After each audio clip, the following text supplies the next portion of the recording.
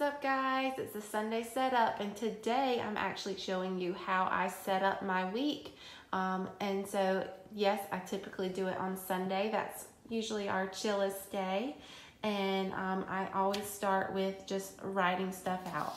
Um, how I build my menu is really just focused on my dinners and I build from there. So my dinners are always my lunch for the next day in some variation.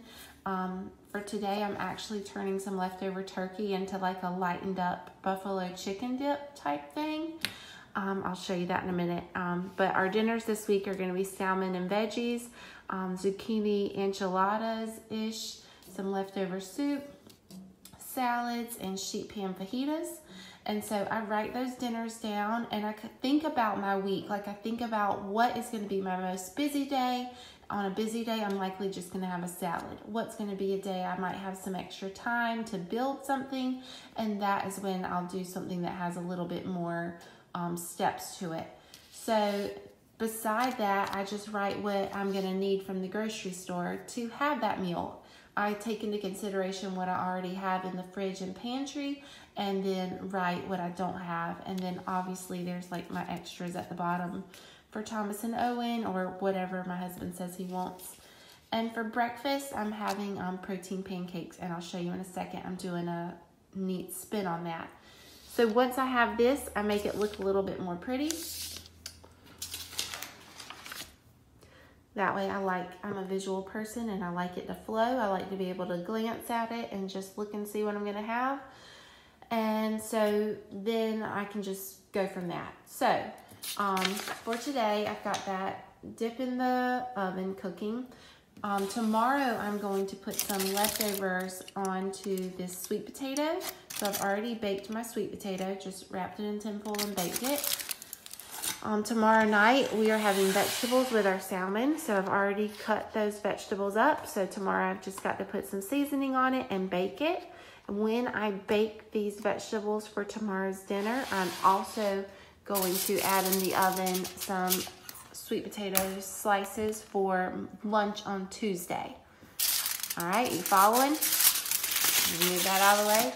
Tuesday night, our zucchini enchiladas.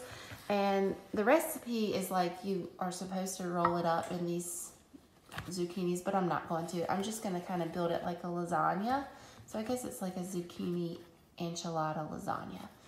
And um, to my chicken mixture, I'm going to grate some extra zucchini. That way there are some more vegetables in it. And I've already diced my onions and peppers. So Tuesday's meal is done. And I even, um, to save me an extra step, let me show you what I got at the, at Aldi today. Saw this on clearance. Green chili pulled chicken. And so I'm just gonna use that. Um, it was $4 and it'll save me time and it will be easy. So I will just mix all of that together.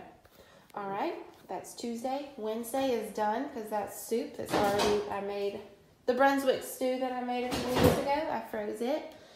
Um, breakfast, I have posted about my protein pancakes before. I will post the recipe for that in the comments. And I'm actually doing a chocolate spin on that because I had some chocolate protein powder that I mixed instead of vanilla. And then lastly is this buffalo chicken dip. As you know, um, don't look at all that mess, sorry. Buffalo chicken dip is usually really um, like creamy and has ranch and let me see if I can turn this around. Has like ranch and cream cheese and so I did a lightened up version of that and I substituted the cream cheese for just some plain Greek yogurt and substituted the full fat ranch for a yogurt based ranch also. So we will have that tonight with some carrots or on a salad, probably some chips also, if I'm being transparent.